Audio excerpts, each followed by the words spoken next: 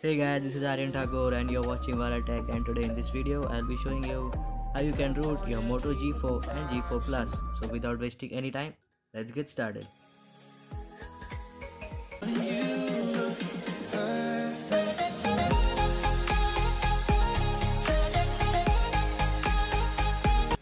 In order to root your device, you need to download some files. So the files are given in the description below. So make sure to download them.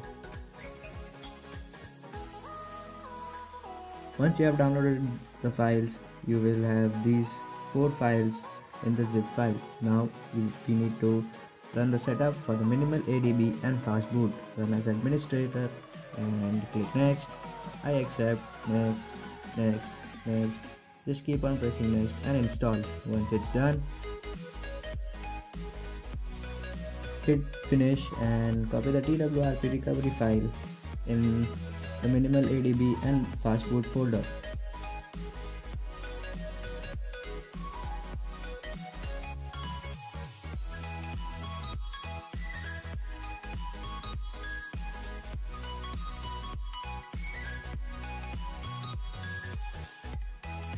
Once you have copied the recovery file, you must copy these two files in the same folder.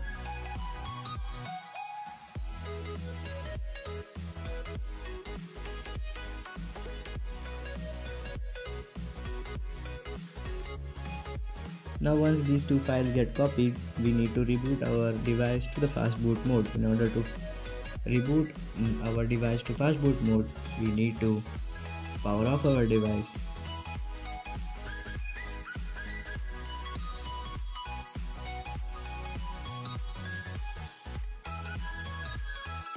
Once our device is powered off, now we need to boot into the fast boot mode. So press the volume down button and the power button simultaneously such that you will boot into the fast boot mode. Once our device is booted into fast boot mode, now we need to connect our device to our PC. Instead, we will have some kind of small icon right here. Now we need to open the window for the minimal ADB and fast boot. So double click the CMD here and you will have a window. Now we need to type fastboot devices. So this command will search for the connected devices and it will be shown in the window.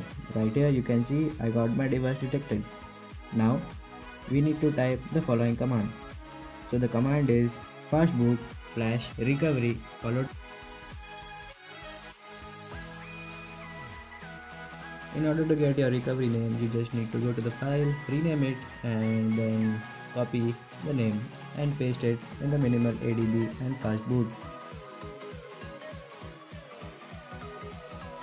once you have copied the name now don't forget to add .img after it.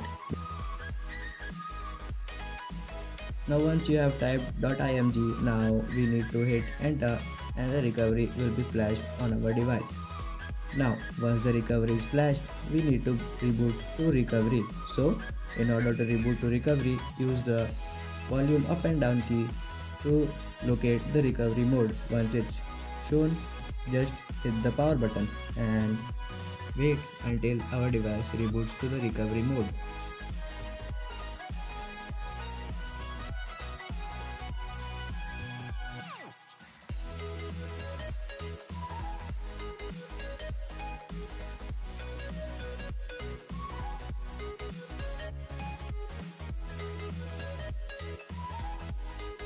Now once we have rebooted into our recovery mode now we need to connect our device to our PC via the USB cable.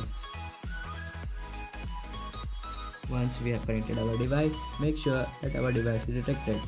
Right here my device is detected. Now we need to go back to the minimal ADB and fastboot folder. In the folder we need to copy super user and the elemental x kernel file. Now copy it to Once our files are copied, now we need to reboot back to TWRP. Now in TWRP we need to go to install section and locate our two files.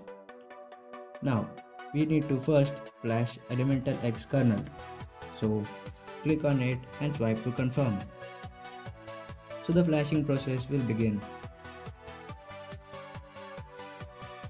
Now click next. Then I agree with the terms of use. Next. Okay. And I'm gonna leave it to stock. Next. Swipe left. Next. Then I'm gonna change this to USB fast charge and click next. Now click install Elemental X and wait until it installs. Once it's installed click next. Finish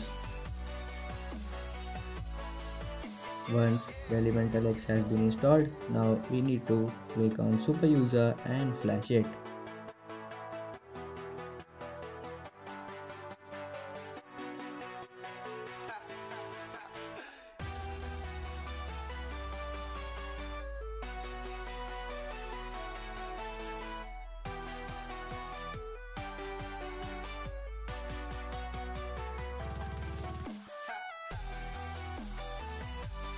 Once the super user file is successfully flashed, go to reboot section and system and do not install and let the device reboot to system.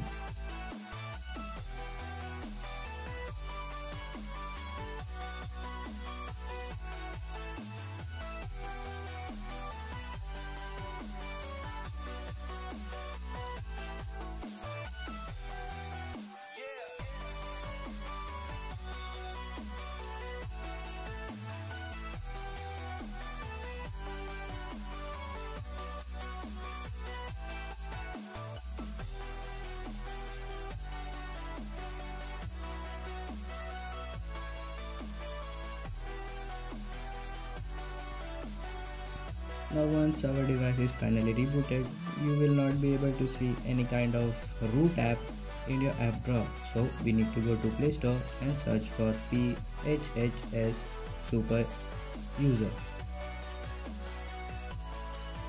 Now we need to install the PHH Super User Root Manager. Once it's installed, now press the home button and you will see that you will get a super user manager in your app drawer. Now let's check whether our device is rooted. And here you can see that says super user request and it's up to you that you want to remember it forever or not. So our device is properly rooted. So thank you guys for watching the video. Hope you liked it. If there is any trouble just comment it